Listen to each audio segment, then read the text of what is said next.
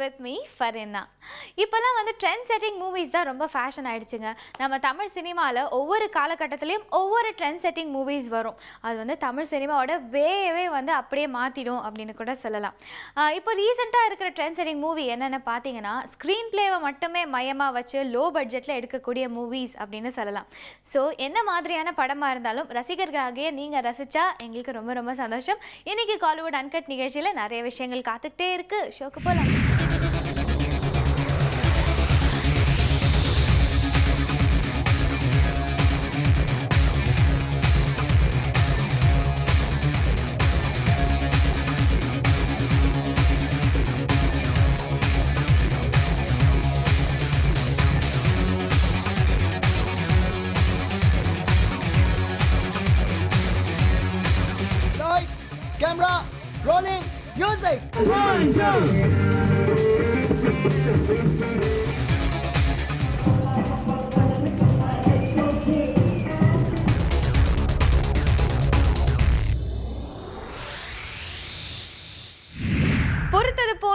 பொங்கி ஏழு மனோகரா அப்படின்ற பியூட்டிஃபுல்லான டயலாகை நம்ம மனோகரா திரைப்படத்தில் கேட்டிருப்போம். பொங்கி எழு மனோகரா அப்படின்ற வார்த்தைகளை டைட்டிலாக வச்சு ஒரு படம் ரிலீஸ் ஆக போகுது. இந்த படத்தில் நம்ம சுண்டாட்டம் ஹீரோ இஃபான் ஹீரோவாக பண்ணியிருக்காரு. அண்ட் ஹீரோயினா அர்ச்சனா அருண் தத்திராய்னு ரெண்டு பேர் பண்ணியிருக்காங்க. இப்போ இந்த படத்தோடைய ஆடியோ லான்ச்சை பார்த்துடலாம். Pongi Manohara is my first movie இது ஒரு ஃபுல்லி காமெடி என்டர்டெயின்மெண்ட் மூவி இந்த ஃபில்மில் நான் ஆனந்தி என்ற கேரக்டர் தான் ப்ளே பண்ணியிருக்கேன். ரொம்ப நல்லா வந்திருக்கு. சாங்ஸ் எல்லாம் சூப்பராக இருக்குது hope you all will like this film thank you எல்லாருக்கும் வணக்கம். இன்னைக்கு பொங்கி எழுமான ஒரு ஆடியோ லான்ச் இந்த மூவி பற்றி சொல்லணும்னா ரமேஷ் ரங்கசாமி இதை டைரக்ட் பண்ணியிருக்காங்க பேனியன் மூவிஸில் uh, இந்த மூவி வந்து நைன்டி ஃபைவ்ல நடக்கிற ஒரு பீரியட் ஸ்டோரி ரொம்ப நல்லா வந்திருக்கு. கண்ணன் சார் மியூசிக் பண்ணியிருக்காங்க அஞ்சு சாங்ஸ் இருக்குது இன்றைக்கி ரிலீஸ் ஆகிருக்கு எல்லா கேளுங்க. உங்களுக்கு ரொம்ப பிடிக்கும்னு நான் நம்புகிறேன் ஸோ எனக்கு என்னோடய கேரக்டர் பற்றி சொல்லணுன்னா இதில் ஒரு lower middle class character play பண்ணியிருக்கேன் கால் தேன்மொழி. ஸோ ரொம்ப நல்லா வந்திருக்கு. Very soon we are going to release the movie also please come and watch the movie in theatre and supporters thank you thank you so much Puthuyugam channel நேயர்கள் அனைவருக்கும் என்னோட முதல் வணக்கம். இன்றைக்கி பொங்கியல் மனோர் ஆடியோ ஃபங்க்ஷன் படம் வந்து ரமேஷ் ரங்கசாமி இயக்கியிருக்காரு. நான் இந்த படத்தில் ஒரு அப்பாவும் பையனாவா ரெண்டு கேரக்டரில் நடிச்சிருக்கேன். இந்த படம் பார்த்து நீங்கள் தான் சொல்லணும். இந்த படம் வந்து எனக்கு ஒரு நெக்ஸ்ட் பிளாட்ஃபார்மாக இருக்கும். என்ன ஒரு பெரிய இடத்துக்கு கொண்டு போகுங்கிறது என்னோடய நம்பிக்கை. இந்த படம் வந்து தமிழ் படம் பண்ண கண்ணன் தான் இந்த படத்துக்கு சாங் பண்ணியிருக்காரு. சாங்ஸ் எல்லாம் ரொம்ப அருமையாக வந்திருக்கு. எனக்கு தெரிஞ்சு ரெண்டாயிரத்தி பதினாலில் ஒரு பெரிய காமெடி பிளாக் பஸ்டராக இந்த படம் வரும். பொங்கேலி மன்னராக எல்லாரும் நீங்கள் தேட்டரில் பார்க்கணும் அப்படிங்கிறதா என்னோட நன் ஒரு ஆசை. அடுத்து இந்த படம் ரிலீஸுக்கு அப்புறம் உங்களெல்லாம் நான் புதுமுகம் சேனல்லே வந்து சந்திக்கிறேன். நன்றி வணக்கம். எல்லாருக்கும் வணக்கம். புதியுகம் நேர்களுக்கு வணக்கம். நான் இர்ஃபான் பேசுகிறேன் இன்றைக்கி பொங்கியலு மனோகரா அதோட ஆடியோ லான்ச்சில் இருக்கும். இந்த படம் வந்து ஒரு தொண்ணூறுகள் நடக்கிற ஒரு கம்ப்ளீட்டான ஒரு ஃபேமிலி ட்ராமா ஒரு காமெடி என்டர்டெய்னர் நானும் சிங்கமுலி அண்ணாவும் த்ரூ அவுட்டாக இந்த படத்தில் வந்து ஒரு ஹியூமர் பண்ணியிருக்கோம். இந்த படத்தில் நீங்கள் வந்து ஒரு ஒரு தரமான படம் கண்டிப்பாக எதிர்பார்க்கலாம். இந்த படத்தை இயக்குனது ரமேஷ் சார் ஒரு எஸ்எஸ்சியோட கோ டைரக்டர் இதில் நான் ஒரு பால்காரனாக ப்ளே பண்ணியிருக்கேன். ஸோ ஒரு ஃபிஃப்டீன் டேஸ் பால்காரன் ட்ரைனிங்னா போச்சு. ஸோ இந்த படம் வந்து சத்தியமங்கலத்தில் ஒரு இருபத்தி மூணு நாள் நடக்கிற ஒரு கதை. இது ஒரு கண்டிப்பாக வந்து ஒரு முக்கியமான படமாக தமிழ் சினிமாவில் இருக்கும். Thank you so much Pongiyalu Manohara படத்தோட டைரக்டர் இது என்னோட முதல் படம். நான் டைரக்டர் எஸ் சந்திர சாரோட கோ டைரக்டர் இந்த படம் வந்து ஆயிரத்தி தொள்ளாயிரத்தி தொண்ணூத்தஞ்சு டிசம்பரில் ஆரம்பித்து தொண்ணூத்தாறு ஜனவரியில் முடிகிற மாதிரி ஒரு ஸ்கிரிப்ட் பண்ணியிருக்கேன். இருபத்தி மூணு நாள் நடக்கிற ஒரு கதை தான் இந்த படம். இந்த படம் கண்டிப்பாக உங்களுக்கு பெரிய ஒரு ஒரு பயங்கர ஹியூமராக இருக்குது படம் முடியும் போது பெரிய ஒரு ஃபீலாக படம் முடியும். கண்டிப்பாக படம் ரொம்ப நல்லா வந்திருக்கு. கண்டிப்பாக நானும் பெரிய டேரக்டராக ஜெயிப்பேங்க நம்பிக்கை எனக்கு இருக்குது ஏன்னா நானும் ரசிகனாக இருந்து ஸ்டேஜ்லேருந்து கைத்தட்டி ஒவ்வொரு படத்தையும் ரசிச்சிருக்கேன். அதே மாதிரி தான் இந்த படத்தை பண்ணியிருக்கேன். கண்டிப்பாக இந்த படம் பெரிய வெற்றி அடையும் நம்பிக்கை இருக்குது நீங்கள் சப்போர்ட் பண்ணவங்க தேங்க்ஸ் தேங்க்யூ நன்றி. வெல் பொங்கியில மனோரா திரைப்படத்தோடைய ஆடியோ லான்ச்சை பார்த்துட்ருக்கோம் தொடர்ந்து இதை தான் பார்க்க போகிறோம் அதுக்கு முன்னாடி ஒரு சின்ன பிரேக் போகலாம்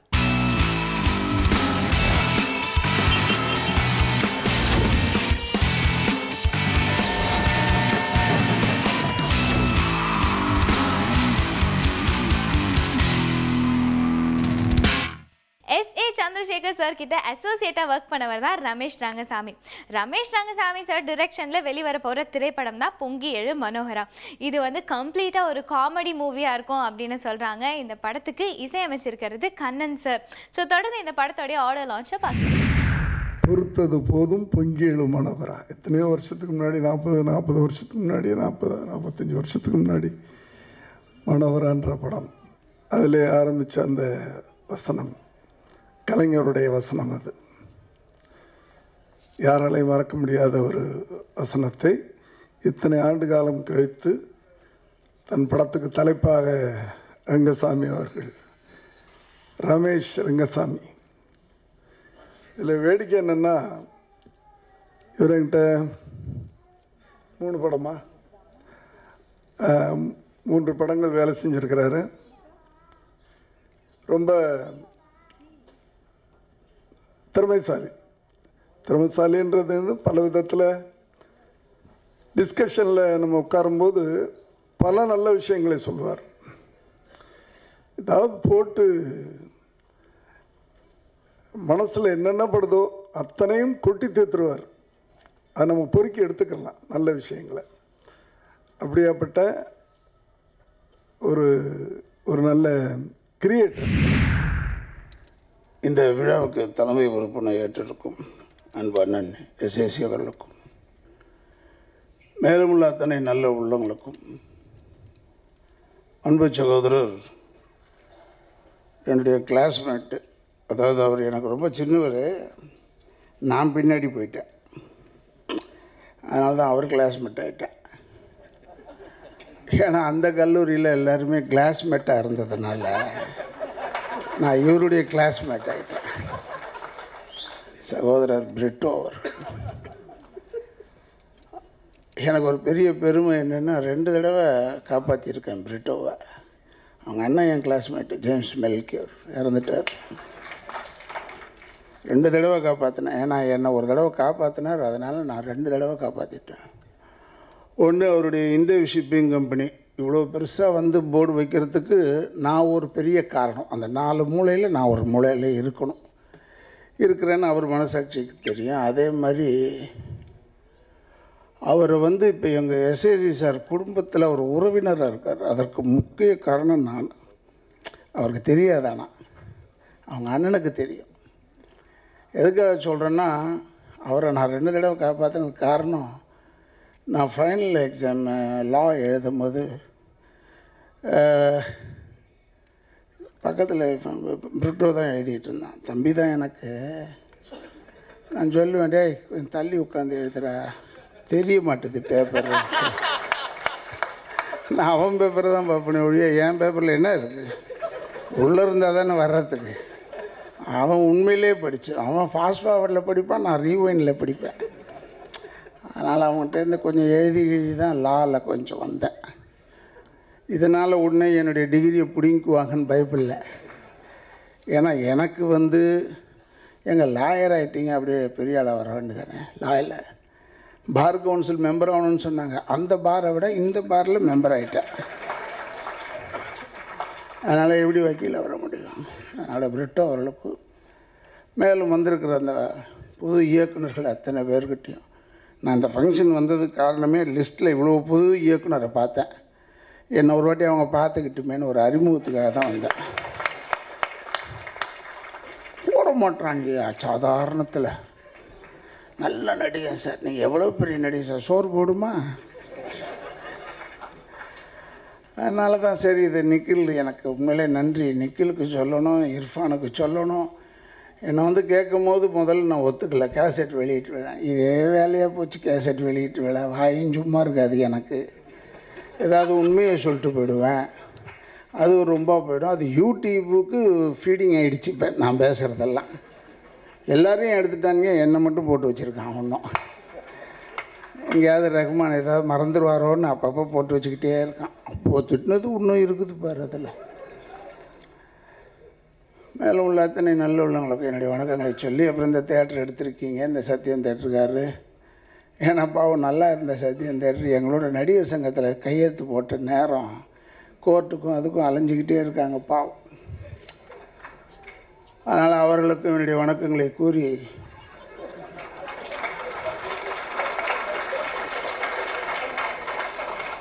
இல்லையா என்னை பற்றி பேசினாரான்னு கேட்பாங்க அவங்க அதுக்காக சொல்கிறேன் அதனால தான் வரதில்லை கட்டமாக இங்கே சத்தியம் பாவம். இப்போ கூட நாகேஷன் பேரன் நான் அந்த கேசட் வெளியீட்டு விழாக்கு என்னால் வர முடியல. ஏன்னா நான் ஐ வாஸ் ஹாஸ்பிட்டலைஸ்டு அப்புறம் ஒன்று ஒன்று சத்தியம் தேட்டர்னா வரவே மாட்டேன்.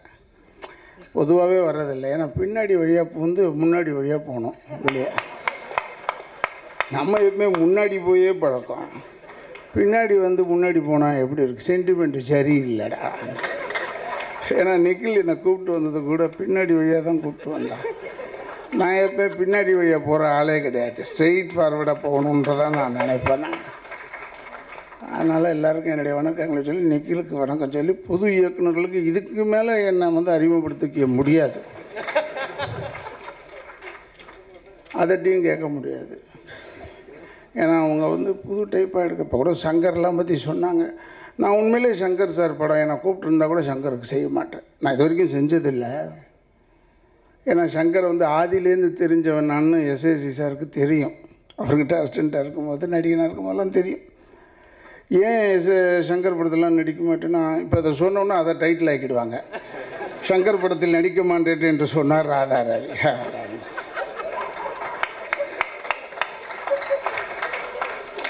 அதில் நடிக்கலாம் இப்போ எதுக்குன்னா ஒரு பிஷப் பெரிய ஆர்ட் பிஷப் போனார். ஸ்காட்லாண்டுக்கு போனார். ஸ்காட்லாண்டில் போகும்போது ஒரு கிராமத்துக்கு போனார். அப்போ ஒருத்தவங்க சொன்னாங்க அங்கே போய் பத்திரிக்கைக்காரங்களோட பேசிடாதீங்கன்னு பட் அவர் நேராக வந்தபோது ப்ரெஸ் மீட் பண்ணாங்க. ஏன் இப்படி முதல் தடவை வந்திருக்கீங்க ஸ்காட்லாண்டுக்கு? அப்படி இப்படின்னு பேசிக்கிட்டே இருக்கும்போது அவர் பிஷப் பேசிக்கிட்டே இருந்தார். உங்களுக்கு ஒன்று தெரியுமான்னு கேட்டாங்க பத்திரிக்கைக்காரங்க. என்னான்னு கேட்டேன். இந்த ஊரை பொறுத்தளவில் ஒரு பப்பு கிடையாது பாரு கிடையாது கேப்ரே டான்ஸ் கிடையாது. ஓ இங்கே கேப்ரே டான்ஸ்லாம் இல்லையான்னு சொல்லிட்டாரு பிஷப். அடுத்த நாள் ஹெட்லைன்ஸு. பிஷப் பிஷப் சொல்கிறாரு இங்கே பா கேப்ரே டான்ஸே இல்லையா என்று கேட்டார் பிஷப்னு போட்டான். பிஷப்புக்கே அந்த நிலைமைன்னா நம்ம என்ன ஆகுறது? அதனால் இந்த படம் வந்து இப்போ எஸ்எஸ்என் இருந்தார். அவர் சொன்னார். அவர் பெரிய டைரக்டரு நிறைய பேரை உருவாக்கியிருக்காரு. அவர் பிள்ளையே அவர் தானே உருவாக்குனாரு. அப்படின்னு அவர் சொன்னார். இது அவர் சொல்லாமே எங்களுக்கு தெரியாது. அவர் தான் உருவாக்குனாருன்னு. அதுதான் சொல்கிறார் இந்த மண்ணுக்கு அறிமுகப்படுத்தினது நீங்கள் தான்.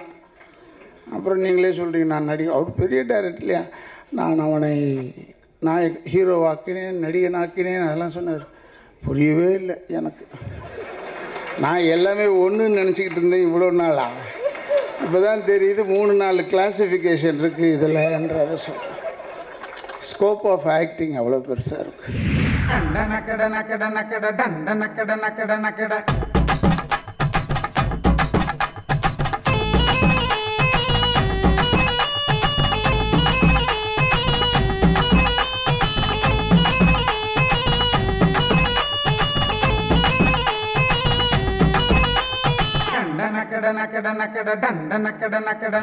மலேசியா ஆக்டர் ஆக்ட்ரஸஸ் டெக்னீஷியன்ஸ் வச்சு மலேசியாவில் ரிலீஸ் ஆகி சூப்பர் டூப்பர் ஹிட்டான திரைப்படம் மைந்தன் இப்போ ரீசெண்டாக ஒரு ப்ரெஸ் மீட் வச்சு உலக லெவலில் இந்த படத்தை மறுபடியும் ரிலீஸ் பண்ண போகிறாங்களாம் ஸோ அந்த ப்ரெஸ் மீட்டை இப்போ நம்ம பார்க்கலாம் அஞ்சு ஃபிலிம்லேருந்து நவநீதன் கணேசன் இந்த படத்தோட மைந்தன் படத்தோட இந்தியா வெளியீட்டை நாம் செஞ்சுருக்கோம்.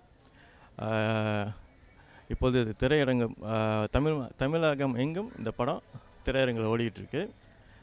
ஸோ இது வந்து ஒரு கொமர்ஷியல் வேல்யூ உள்ள படம். பாடல் சண்டை காட்சிகள் ஜோக்ஸ் எல்லாமே வந்து நல்லா காமெடியாக நல்லா வந்து அம் அமைஞ்சிருக்கு. ஸோ இந்த படத்தை வந்து ஒரு தரமான படமாக நம்ம கொடுத்துருக்கோம். இந்த திரைப்படத்தை பொறுத்த வரைக்கும் ஒரு மிகப்பெரிய ஒரு வரலாறே இருக்குதுன்னு சொல்லலாம். இந்த திரைப்படம் வந்து மிகப்பெரிய பொருள் செலவில் மலேசியாவில் தயாரிக்கப்பட்டது. அது மலேசியாவில் வந்து பாக்ஸ் ஆஃபீஸில் வந்து நம்பர் ஒன்னாக வந்துருச்சு. அதற்கு பிறகு ஏன் வந்து தமிழ்நாட்டில் நம்ம இதை கொண்டு போகக்கூடாது அப்படிங்கிற ஒரு எண்ணத்தில் தான் இன்றைக்கி வந்து இங்கே தமிழ்நாட்டில் ரிலீஸ் பண்ணியிருக்கிறோம். மைந்தன் தமிழ் திரைப்படத்தோட இயக்குனர் நடிகரும் கூட. இந்த படத்தை வந்து மலேசியாவில் நல்லா வெற்றிகரமாக போய்கிட்டு இருந்தது. நிறையா திரையரங்குகள் ஓடி ஒரு பாக்ஸ் ஆஃபீஸ் படமாக அங்கே பேசப்பட்டது. ஆஸ்ட்ரோ ஷா எஸ்எஸ் வாவாசன் அண்ட் சிகே ஃபிலிம்ஸ் ஒன்றா சேர்ந்து பண்ண ஒரு படம். அது மட்டும் இல்லாமல் இங்கு தமிழ்நாட்டில் ரிலீஸ் பண்ணால் நல்லாயிருக்கும் அப்படின்னு நினச்சோம். நான் சொன்னால் தமிழ்லேயே இருக்குது டயலாக்ஸ் எல்லாமே. கண்டிப்பாக இங்கே உள்ளவங்க பார்ப்பாங்க அப்படின்ற நம்பிக்கையில் Avan pictures and NGP pictures ரெண்டு பேரும் சேர்ந்து இணைந்து இந்த படத்தை இங்கே ரிலீஸ் பண்ணுறாங்க ஒரு ஐம்பது திரையரங்கில் முதல் ட்ரை பண்ணுறோம் முடிஞ்ச அளவுக்கு உங்களோட ஆதரவு எங்களுக்கு கண்டிப்பாக தேவைப்படுது. நாங்கள் இப்போ தான் வளர்ந்து வந்துக்கிட்டு இருக்கோம். ஸோ ஹாய் வணக்கம். நான் புன்னகிப்பூ கீதா மைந்தன் திரைப்படத்தில் வந்து காயத்ரி அப்படின்ற ரோல் பண்ணியிருந்தேன். கதாநாயகியாக நடிச்சிருந்தேன். மைந்தன் படம் வந்து மலேசியாவில் பொறுத்த வரைக்கும் மிகப்பெரிய ஒரு சரித்திரத்தை பிரம்மாண்டமான மாற்றத்தை உருவாக்கிய ஒரு திரைப்படம். மலேசிய படமாக யார் தேட்டரில் போய் பார்க்க போகிறா யார் இன்னும் மலேசிய படம் ஓடுமா அப்படின்ற ஒரு பெரிய சந்தேகமான மைண்ட் செட்டை வந்து மாற்றியது மைந்தன். வந்த மலேசிய படங்களே அதிகமான வசூலை திரட்டிய ஒரு படம் மைந்தன். இந்த படத்துடைய ப்ளஸ்ஸே வந்து இந்த படத்துடைய கதை ஸ்கிரிப்ட்டு நிறைய நகைச்சுவை இருந்தது. ரொம்ப சீரியஸான ஒரு சப்ஜெக்ட் மலேசியாவில் நடக்கிற ஒரு உண்மை சம்பவம் சைல்ட் லேபர் சைல்ட் டிராஃபிக்கிங் ஆனால் இந்த சம்பவங்களை இந்த பிரச்சனையை வந்து பிரச்சனையாக காட்டாமல் ரொம்ப லைட்டாக என்டர்டெய்னிங்காக காட்டினது தான் இந்த படத்தோட ப்ளஸ் அப்படின்னு நான் சொல்லலாம் இன்னைக்கு காலிவுட் அன்கட் நிகழ்ச்சியை நீங்கள் எல்லாருமே பார்த்துருப்பீங்க. இதே மாதிரி அடுத்த காலிவுட் அன்கட் நிகழ்ச்சியில் நான் உங்களை மறுபடியும் பார்க்குறேன். அது வரைக்கும் பை பை